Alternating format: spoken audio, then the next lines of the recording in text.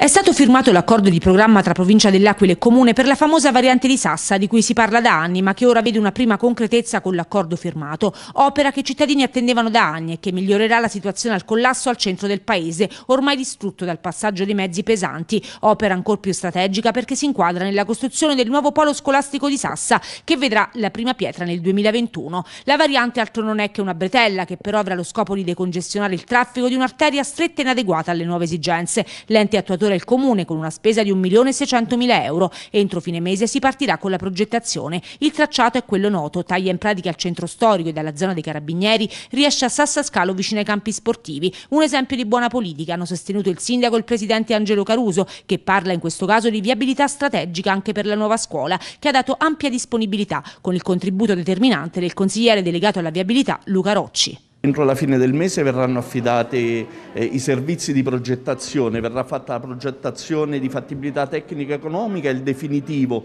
insieme, quindi poi si potrà procedere direttamente con la gara. Di fatto il tracciato diciamo, si mette sulla strada attuale, quella che passa vicino al MUSP di Sassa, poi prima della stazione dei Carabinieri eh, diciamo, declina verso destra e aggira diciamo, tutta la parte della cosiddetta strettoia. Sarà una strada che servirà non soltanto per decongestionare un punto molto delicato e molto trafficato di, eh, di questa importante frazione della città dell'Aquila, ma anche sarà una via di servizio alla nuova scuola, al nuovo polo scolastico che verrà costruito proprio in adiacenza della, della strada, secondo fra l'altro previsioni di vecchie di PRG, quindi nulla diciamo, di, di, nuovo in linea con lo, lo sviluppo immaginato per quel territorio e anche e soprattutto, mi preme sottolinearlo, utilizzando una volumetria già esistente, quindi con, senza ulteriore consumo di suolo.